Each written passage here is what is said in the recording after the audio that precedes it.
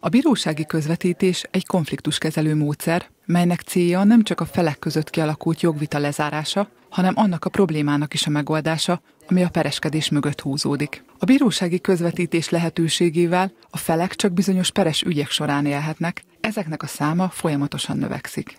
2017 évi statisztikai adatot tudok mondani, 160 ügyben volt közvetítői eljárás, és a közvetítéseknek a nagy száma közel fele eredményesen zárul, egyességgel, megállapodással.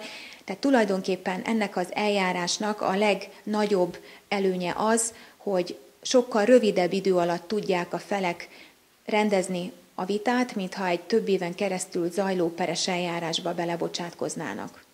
Több előnye is van a közvetítő igénybevételének. Az egyik, hogy békés úton folyhat az eljárás, a másik, hogy amennyiben a felek az első tárgyaláson egyességet kötnek, úgy a peres eljárás után fizetendő életig csupán 10%-át kell megfizetniük. Amikor a per megindul, akkor a peres felek idézést kapnak a tárgyalásra.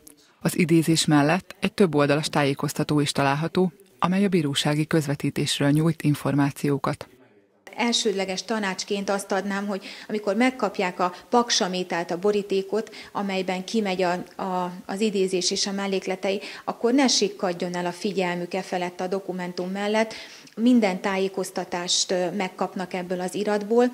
A bírósági közvetítők akik egyébként jogvégzett bírák, titkárok, a nevük és az elérhetőségük a bíróságnak a honlapján megtalálható.